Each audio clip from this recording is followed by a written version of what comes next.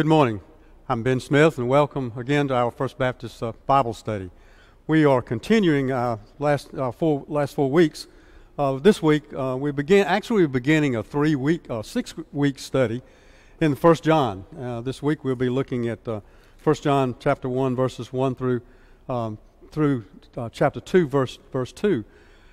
Um, First John was most likely written by the writer of the gospel, though there's some concern from the scholars of who, who the John was. Clearly, it was John, but uh, I, I, I, think they're pretty pretty close to it. That most everybody thinks that that First John, the letters of First and Second and Third John, were written by the same writer, John, the, the disciple that wrote the gospel.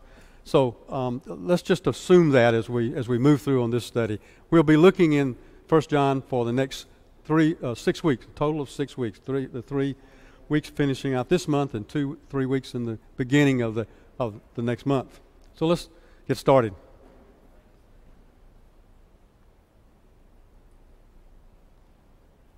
That which was from the beginning, which we have heard, which we have seen with our eyes, which we looked upon and have touched with our hands concerning the word of life. The life was made manifest, and we have seen it and testified to it and proclaimed to you the eternal life which was with the Father and was made manifest to us. That which we have seen and heard we proclaim also to you, so that you too may have fellowship with us. And indeed, our fellowship is with the Father. Now, John is, is, is giving a personal testimony here. Uh, he has been with Jesus um, with, and the other disciples, the, the 12, for three or three and a half years before the crucifixion and the resurrection. And so he's, he's been able to hear with his own ears and see with his own eyes, he says. And he even says, touched with our hands concerning the Word of God. And what he means by that, I think, is that it's like somebody's touched to my life. That he's, he's been able to uh, just observe completely and totally and, and to see not only what Jesus says, but he was able to watch and see how what Jesus did and how, how he handled himself and how he seemed to always had the uh, other person in, in, in, perspective in his concern.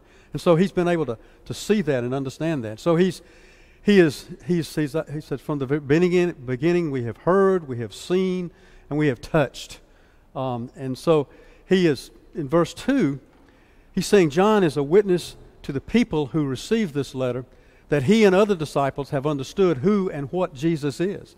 So he is, he is manifesting and what he has seen and what he is testifying to. Now, what is he testifying to? He's, he's proclaiming, having received and understood. Now, John wants to proclaim his truth to those who are receiving this letter. He's experienced it himself, and, he, and he's, he's, he's saying, he's talking about the principle of, of proclaiming it. Once you hear that gospel, there's a desire to, to share that gospel. So he wants to proclaim it. And what is he proclaiming? He's proclaiming eternal life. That's, that's what he wants to talk about. He says, um, proclaim to you the eternal life which was with the Father and was made manifest to us. Now, the us there are the disciples, and the you there are the people he's writing the letter to, and, and to you and I as uh, uh, modern day believers. In verse 3, he says, The same relationship that John and the other disciples experienced with Jesus is available to all who respond to God's love. Look, look at it. That which we have seen and heard, we proclaim. There's that word proclaim again. Uh, and we'll see it again on several occasions as we move through this scripture. Also to you. And again, the you are the people, and you and I in modern day, so that you may have fellowship. Um, now, the, John is beginning to establish a principle here in scriptural, scriptural principle. And the pr- principle is that fellowship with believers cannot be a separate fellowship than the fellowship with the Father. They are one in the same. Look, look at what he says in, in, in verse 3 To many have fellowship with us, and indeed our fellowship is with the Father and with his Son, Jesus the Christ, Jesus Christ, the, the Christ, the Messiah. And so he ties that fellowship with the, with the believers, he ties that to the relationship they have uh, with Jesus. Now, what he's, the principle is, is you cannot love God and hate your brother. That's a, that's a principle. That's a scriptural principle that he's going to drive home with that. Um, and he, he says that. Look, again, fellowship with us and with the Son of, uh, with the Son, Jesus the Christ. Um, he's, he's, he's driving that point home that you, you can't love God and, and hate your brother. and we are writing these things so that our joy may be complete.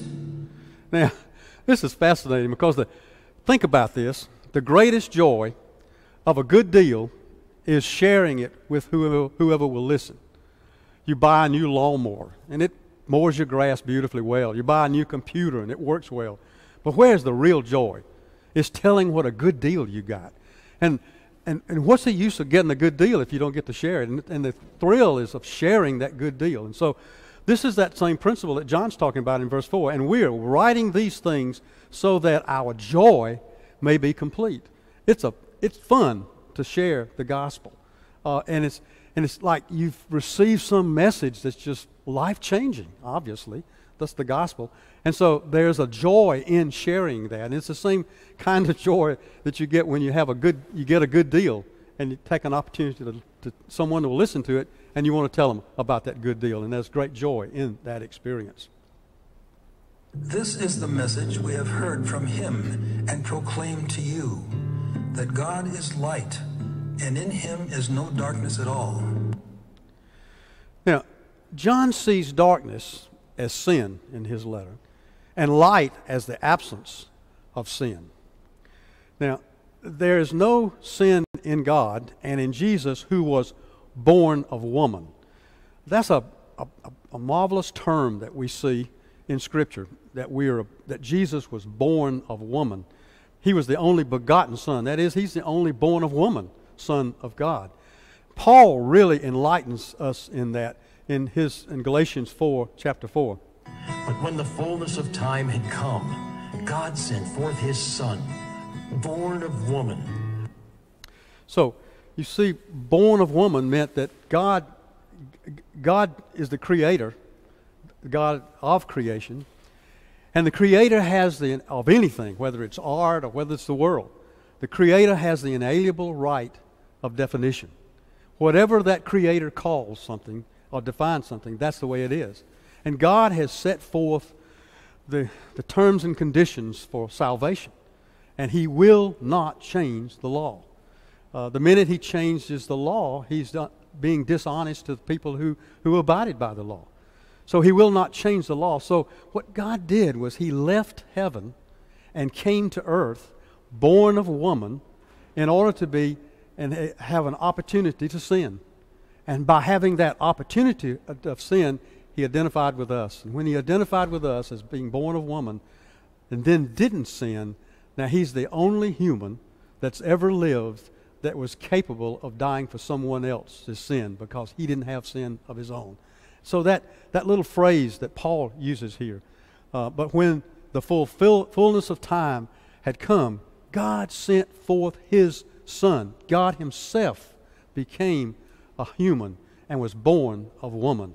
And that's so significant because that's the basis of how God is going to fulfill the law rather than changing the law in order to make us acceptable to Him. John gives us, uh, going back to John now, that was Paul in Galatians and his letter to the Galatians. Now we'll get back in 1 John.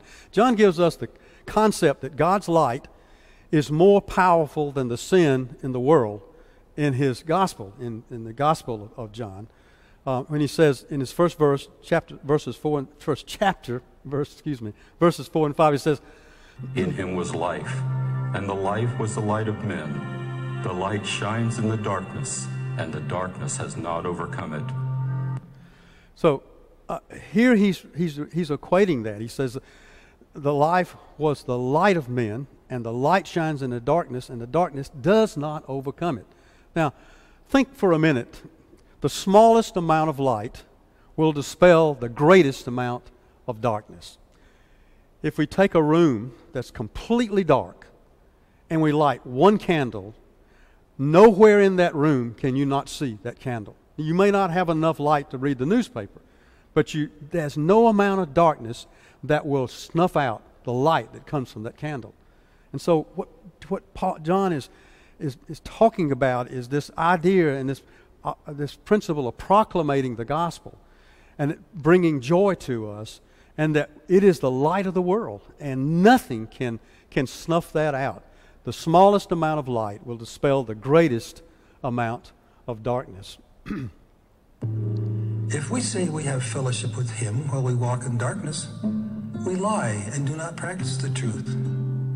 But if we walk in the light as he is in the light, we have fellowship with one another, and the blood of Jesus, his son, cleanses us from all sin.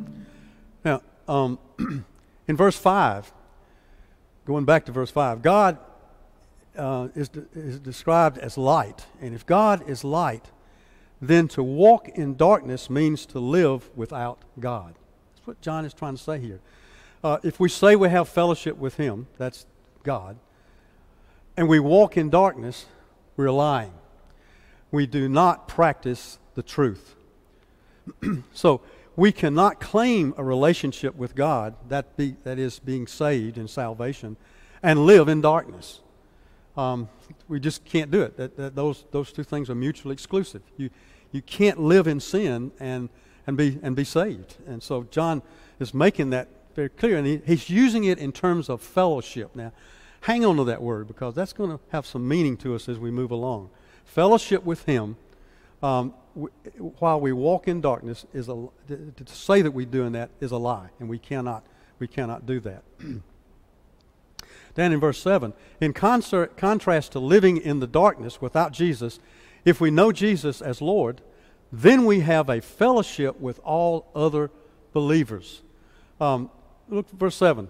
But if we walk in light, now God is light, as He is in the light, we have fellowship with one another and with the. Um, so let's just stop right there. See, remember who we talked about that we can't have, we can't love God and hate our, our, our brother. And he, this is that same principle, but he's stating it a little differently. That we, we walk in light we walk under the fellowship and under the lordship of Jesus Christ. And that gives us fellowship with who? With one another uh, and with the other, other believers. The redemptive work that Jesus did on the cross, that's the blood he's going to talk about here, brings forgiveness of the believer's sins. Look at that. And the blood of Jesus, his son, cleanses us from all sin. So that um, uh, we, are, we are sinful, uh, and but God cleanses us of that sin and gives us capability of being in God's presence. And He does that through the redemptive activity that Jesus occurred on the cross with His with His blood by shedding His His own blood. If we say we have no sin, we deceive ourselves, and the truth is not in us. Whoa. What's he saying now? He just got through saying that we have sin that we can't, if we have sin, we can't be in the fellowship. And then he turns around in verse 8 and he says, The person who is walking in the light, as opposed to the walking in darkness, is not without sin. And what I think he's saying is, is that, so he says that if, if we have no sin, we deceive ourselves. The truth is not in us.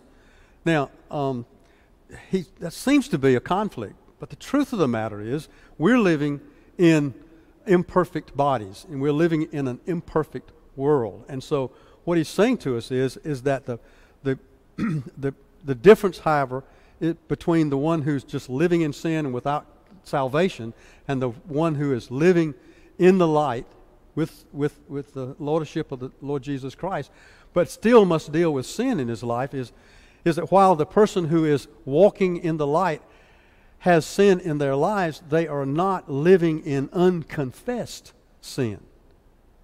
So they're dealing with their sin. And what um, the presence of unconfessed sin in a believer's life breaks the fellowship. Now, I, I told you to watch for that word, that word fellowship with God, but does not destroy their justification in Christ's salvation. So here's a believer that's saved and that his sins have been forgiven.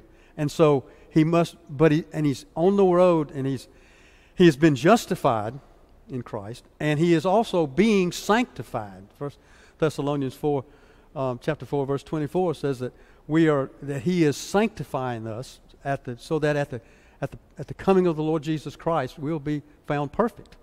Um, so we are beginning to look more like what we have been declared to be. That's sanctification.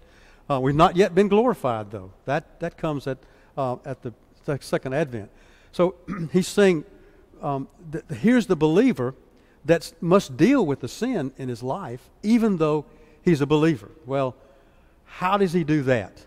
And then he, we come forth with verse 9. If we confess our sins, he is faithful and just to forgive us our sins and to cleanse us from all unrighteousness. Now, this ought to be the Pledge of Allegiance for every Christian, I think. Because what's the function here? We, let's look at this verse in terms of what do we do and what does God do and why does He do it? Well, what do we do? We confess our sin. Um, God's Holy Spirit, um, to the unbeliever, God's Holy Spirit is conviction. I mean, is con- condemnation. But Paul says in Romans chapter 8, verse 1 There is therefore no condemnation for those who are in Christ Jesus, for those who are in his, his birth, his life, his death, and his resurrection. That was Paul's favorite term for us, being in Christ Jesus. And so Paul says, There is therefore no condemnation for those who are in Christ Jesus. So no longer can we be condemned as a believer. But the Holy Spirit's function of, to the believer's life is conviction. Conviction is totally different than, than, than, than being convicted, and than being um, uh, set, um, being, uh, there's no for there any condemnation. So that's totally different than, than conviction. Conviction is what happens when the Lord says to us through the Holy Spirit, something in your life is not right. You're not, there's sin in your life. And so, what our responsibility is, is to confess. Now, notice we don't ask for forgiveness in this verse. Why? We've already been forgiven, we've already been justified.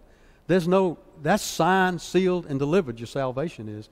But here we are in the process of being sanctified, and God's involvement with that is to convict us as His Holy Spirit convict us for sin in our lives. And what our response for it is, is that we confess those sins as He reveals them to us. And what does God do? Because God is faithful, faithful and just. That's the attributes of God. That's He is a faithful God and He is ultimately just just. Everything He does will be just, and we can be confident in that. And, and because He is faithful and because He is just, He will forgive. There's two things that are important here. He forgives and he cleanses. And those are important two things. We confess sin as, as believers, having been saved. We confess sin. God is faithful and he's just, and he therefore forgives us of that sin, and then he cleanses us of that sin. And what that does, if we are cleansed of unrighteousness, then we are what? We are righteous. And if we are righteous, isn't that our target? Isn't that our objective? We want to be righteous. We must be righteous before we can be in God's presence. And we are not righteous when we have unconfessed sin. But how do we get to that righteousness? We, we confess that sin. God's faithful and just to forgive us of that, sin, of that sin and cleanses us from all unrighteousness. Therefore, we are righteous. And if we are righteous, then we are acceptable to God and can, in His presence, therefore, have fellowship with Him. So that we have, when we have sin that's unconfessed as a believer in our lives, it breaks our fellowship with Him. We don't feel like we're saved sometimes. Um, but, we're, not, we're not challenging our salvation, we're challenging our fellowship. to summarize, when a believer sins and they confess that sin, God forgives and He restores the fellowship. They've never lost their salvation or our salvation. We've lost that fellowship. If we say we have not sinned, we make him a liar, and his word is not in us. Now, here's the principle of Scripture.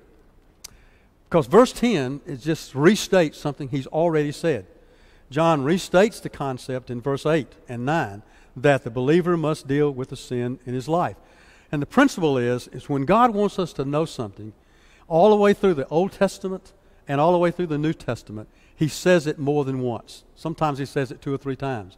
And in this passage, John, God says through John as he's writing this letter, look, here's the, here's the principle I want you to understand. And I'm going to tell it to you again. So in verse 10, he almost, almost says it verbatim, almost. Look at verse 8 and 9 again. If we say we have no sin, if we say we have not sinned, that's almost the same language, just a little bit. We deceive ourselves, and the truth is not in us. If we confess our sins, He is faithful and just to forgive us of our sins and to cleanse us from all unrighteousness. So in verse 10, He's just repeating that. And the principle is that's important. When God wants us to know something, and He wants us to, what He's saying to us is, look at here, listen up. I got something really important to say to you. Verily, verily, is what he says in King James. I want you to hear what I'm about to say to you, and here's what it is. If we say we have not sinned, we make him a liar, liar, and his word is not in us. Therefore, there's something you need to do for that sin. You need to deal with that sin in your life, even as a believer. In God's gospel, he tells us, going back to God, God in, to the gospel of John, he tells us in his word uh, what, who the word is. And let's look at that in John chapter 1 again, but let's look at verses 1 and 2. In the beginning and, was the Word, and the Word was with God, and the Word was God. He was in the beginning with God. And the Word became flesh and dwelt among us, and we have seen his glory. Glory is of the only Son from the Father, full of grace and truth. Now, what I want us to see there is that Jesus is the Word, and that Jesus is God, and that He was with God, He was in the beginning of God, He is the.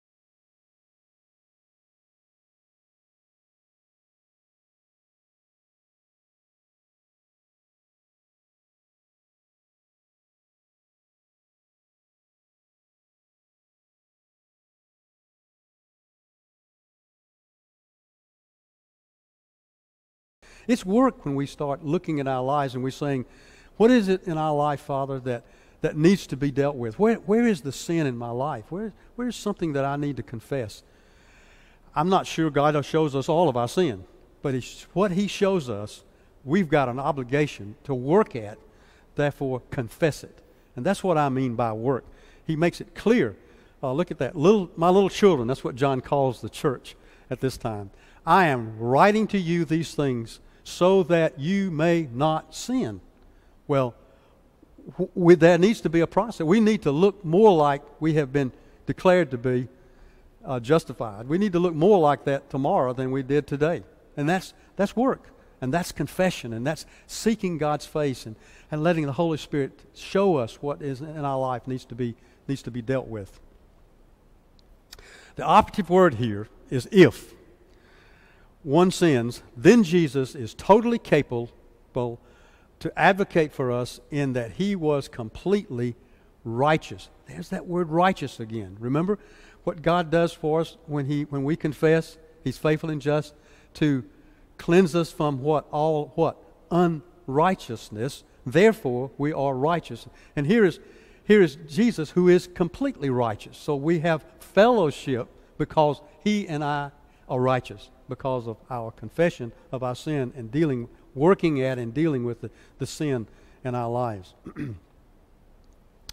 Jesus is being totally adequate in righteousness is our atonement before the Father. Look at that. He is our propitiation for our sins. He is substituted for our sins. He couldn't do that unless he had the opportunity to sin and then didn't sin. And therefore, I can't pay for your sins because by the time I pay for my own sins, what does it cost me? It cost me my life. But Jesus was tempted like as we are in, in Hebrews chapter 4, verse, verse 15. Tempted like as we are, yet without sin. And therefore, he was able, for, with his death, to pay the penalty and transfer the, the result of it to us because he had not sinned. But he was, uh, had the opportunity to sin. the cross provides the opportunity for the world, the whole world, to receive eternal life. Now, John, he makes a hyper jump here. He's been talking about how it relates to each of us as individuals, as believers. And he's not writing to the Billy Graham crusade now. He's writing to the church. He's writing to believers. And, and then all of a sudden he says this hyperlink. He says the cross um, he says he is the propitiation for our sins, and not for us only, but for the sins of the whole world. Now, he's saying that Jesus died for the whole world. Now, this is not universal salvation. This is universal availability for salvation. It requires our response to it. But it's saying that because of the redemptive activity of Jesus on the cross, we now have all the whole world, anyone can have access to God's fellowship and become righteous. John moves to the impact of the cross on the unredeemed man in eternal life is available to anyone confessing Jesus as his Lord. Well, what can we learn from this, from this verse? First of all, because we live in imper- imperfect bodies, we have sin in our lives as believers. Now, face it, we do. Sin is anything that, does, that that we do that damages our relationship with God, with other people, and even ourselves. Um, it, it damages our, our walk with, with the Lord. Secondly, sin is destructive in our lives, and we should not be complacent about dealing with it. Um, if we just kind of rock along and we don't deal with it, we will we'll face the consequences. The answer, thirdly, the answer of dealing with sin in our lives is to confess it and receive forgiveness for it. As believers, um, uh, we, we must deal with that sin.